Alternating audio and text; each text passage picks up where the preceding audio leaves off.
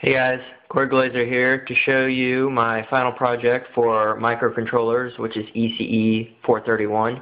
This is a class that most K-State students take during their second year. Um, my final project is a music synthesizer, which, uh, let me show you the board a little bit. Over on this side is the uh, amplifier circuit for the speaker.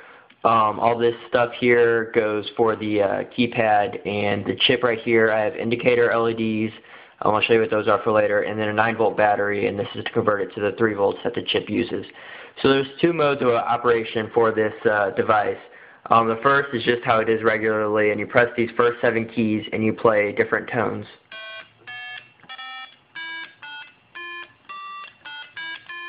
And you can press the star button, and once you press that, it'll turn that green LED on, which indicates you're in the higher octave, and you can play these notes now. You can switch back. And I guess you can play a song.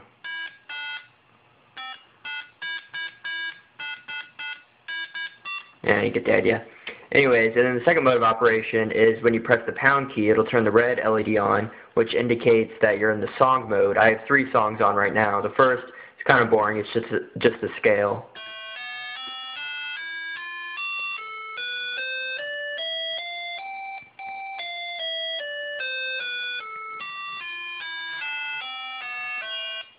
And then the second song is Mary Had a Little Lamb.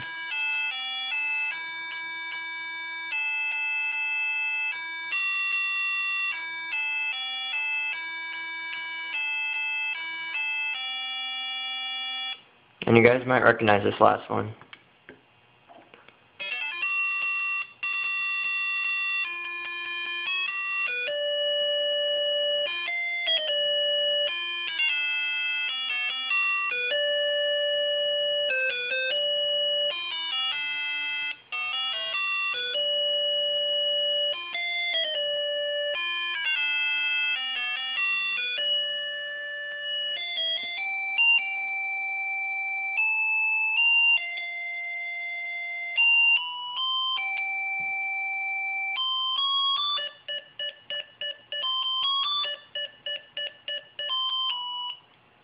And uh, over here on my computer I have the code up for it. Um, it's not terribly complex. It might look pretty bad, but once you actually go through the class, you'll understand what a lot of it means. And you'll be able to make uh, cool projects such as this one. So, yeah, thank you.